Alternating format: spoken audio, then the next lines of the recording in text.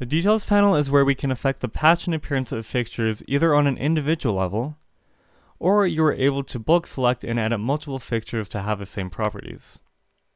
The first section is a patch data section. And the first field is a fixture type.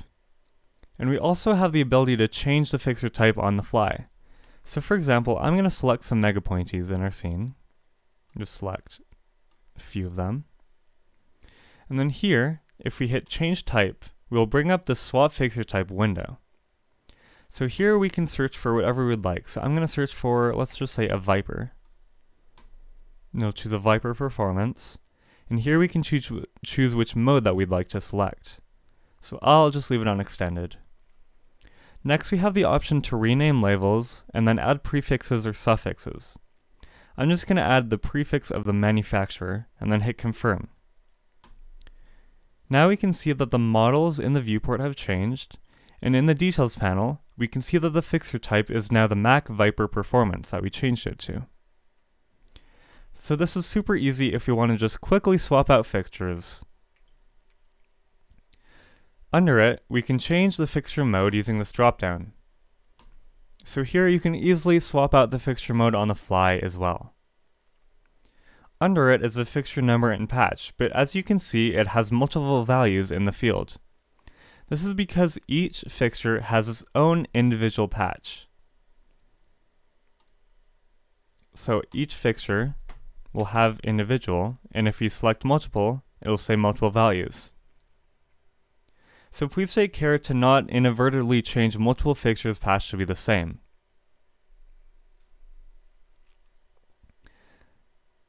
The location and group fields are user fields that can be used for organization.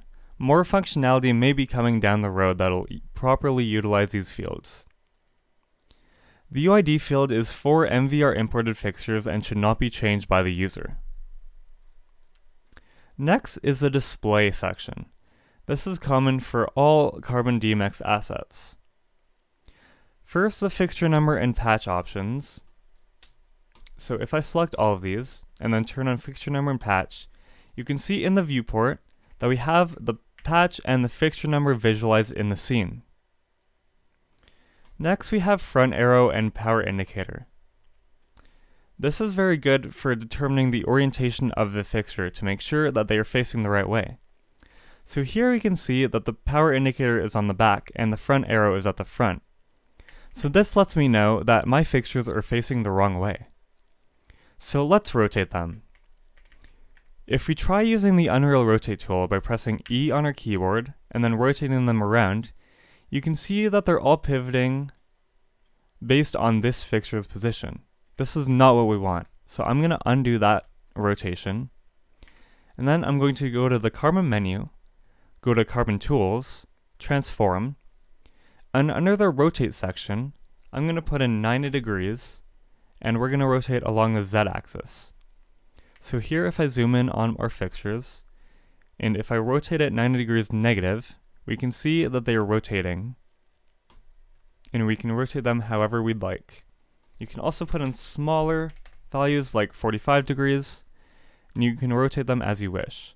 But now our fixtures are facing the right way.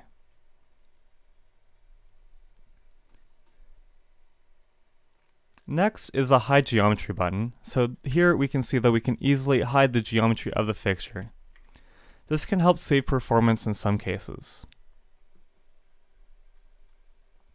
The final option in the display section is a material override option. So if you would like to make your fixtures more custom, so for example, we can search for a metal texture. And here you can see that the material of our fixtures have been changed to a more shiny metallic material. So you can change it to whatever you'd like. So I'm going to choose this material here. The next section is a section that is only available on static lights. Keep in mind that the details panel may vary depending if you have a moving head or just a regular static light. So for example, I'm going to go to the carbon library and then I'm going to add in a source 4. So I'll just pick a random one and then drag it into our scene. I'll just move this up and position it just right here. So now in the details panel, we see this accessories section. So here we can add on different accessories to our static light. So for example, color filter, color mixers, gobos, animation wheels, and framing shutters. So let's say we want to add a different color onto this. So we can check on color filter, then open the color filter section, and then we can just add any color we'd like. You can also add predefined ones based on manufacturers. Under it, we have the manual control section. So here, I'm going to zoom in on our fixture, and here we can see that we can manually pan and tilt the fixture to position it how we'd like. So let's say I'll move this over a little bit, and let's say that we want to aim this on the statue. So in the display section, we can turn on the aim arrow, and now we can see exactly where it will be aiming. So now we can manually position this onto the statue.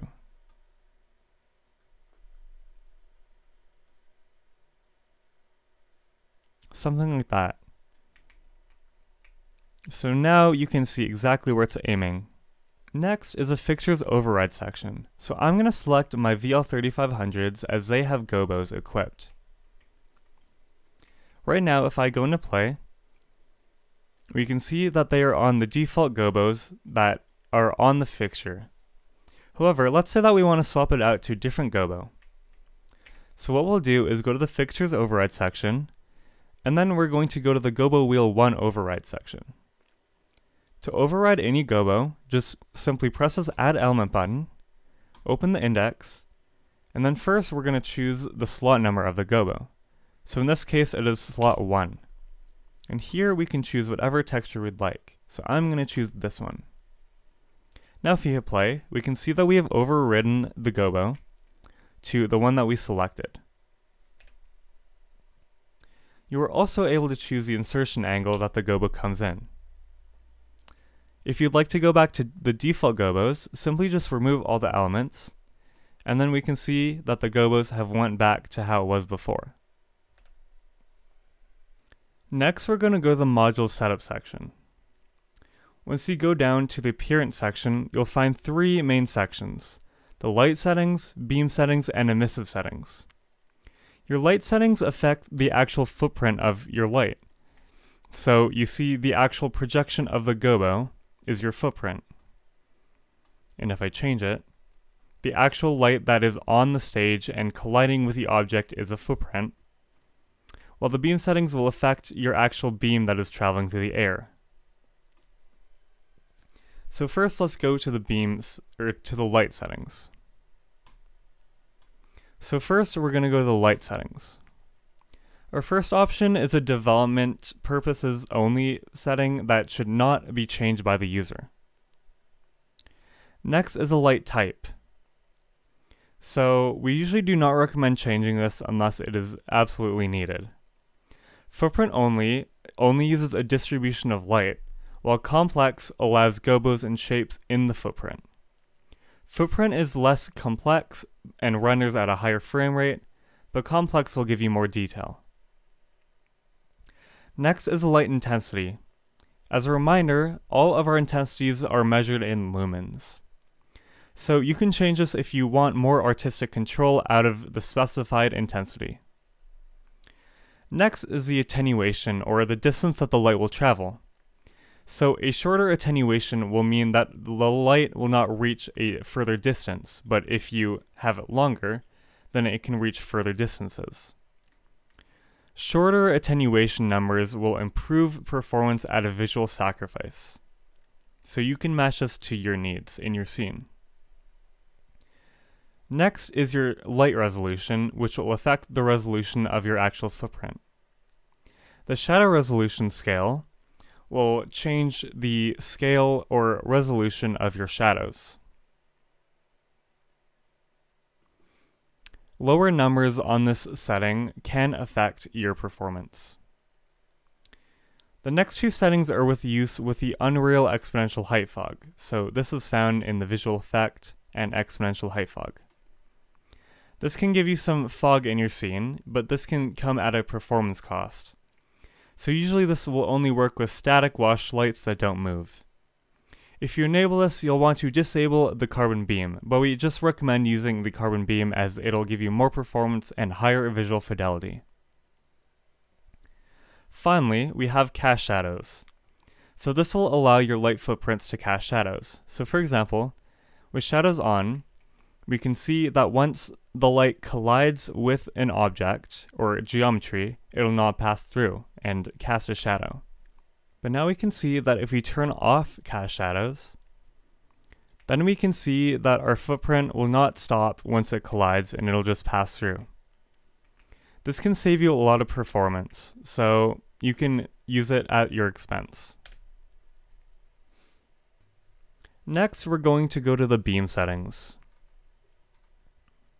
Type is the complexity of the beam.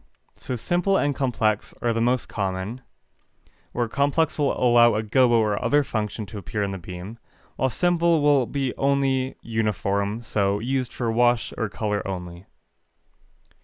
Shadow mode is an experimental mode, where you can stop the beam when the light hits an object's collision volume. We'll have a separate deep dive video into this concept in a separate video.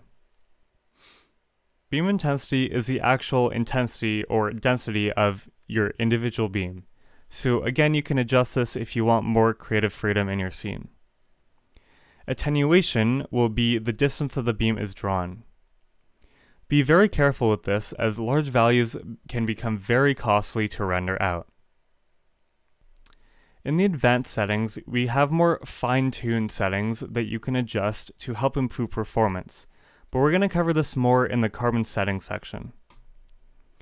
Raymarch samples will adjust your quality. Higher numbers will be better in quality, but it'll lessen your frame rate.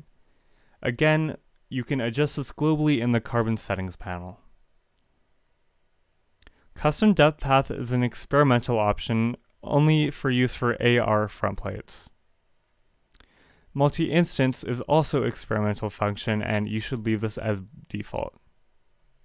Finally, under the emissive settings, we only have one setting, which will adjust the emissive intensity.